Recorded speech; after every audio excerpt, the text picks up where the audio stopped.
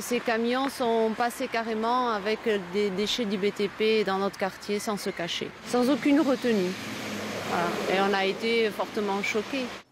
Sylvie, habitante de Saint-Pé-sur-Nivelle, dénonce un détournement d'utilisation de décharges sur des terres agricoles.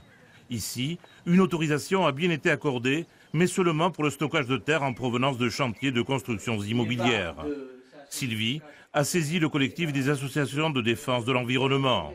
Le CAD recense cinq décharges litigieuses sur la commune de Saint-Pé-sur-Nivelle. C'est des décharges sauvages. Hein. Elles n'ont pas d'autorisation. Ou si elles ont des autorisations, c'est des autorisations pour mettre de la terre arable, de la terre fertile. Et on se rend compte après qu'il y a des centaines de camions avec euh, des déchets du bâtiment, etc.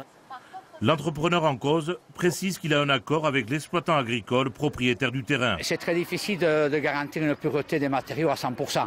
Mais j'estime qu'au niveau de mon entreprise, je pense que j'arrive facilement à 95% quand même euh, au niveau de la terre. Après, il, se trouve toujours des, des matériaux à l'intérieur qu'on ne peut pas trier. Le contrôle de ces décharges est un casse-tête pour la commune et les services de l'État. Le maire dénonce un manque de solidarité.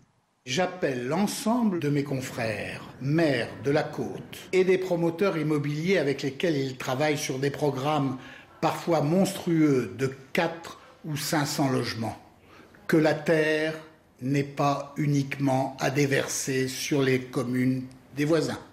Le stockage de remblais en provenance de grands chantiers est assurément un problème majeur en Pays basque.